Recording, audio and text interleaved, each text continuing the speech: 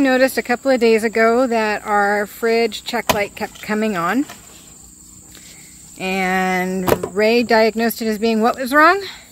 The control board's bad. So come around here. So basically what this board does is when it need when the temperature goes down in there and you've got an LP gas, it's supposed to send 12 volts out this over to this little thingy, open the valve. Once the sensor senses there's gas coming out of here, then a spark is applied on this thing. This thing hits 12 volts and goes immediately off. It doesn't hold the valve open, which means this controller board is likely bad.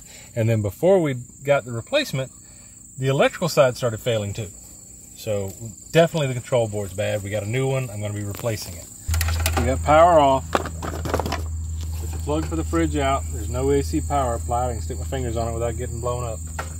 Next thing you want to do is make sure you have these marked in some way so you know what's what. So the easiest way, absolute easiest way to make sure you got it, pull up the phone, take a picture of it so you know what cord goes where. Get one from a couple of different angles.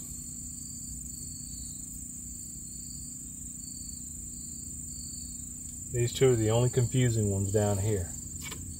Make sure I don't get those two mixed up because they look exactly alike. So what I'll do, I'll just put those on the new board right away. Then pop this out. So once you verify with your pictures that everything's back where it's supposed to be, Everything's seated firmly. Put your board back in, rock up, rock down, and replace the screw. All right. That's all it should take. if we did it right, this thing will work. If if I diagnose the right part. We'll go and test that next.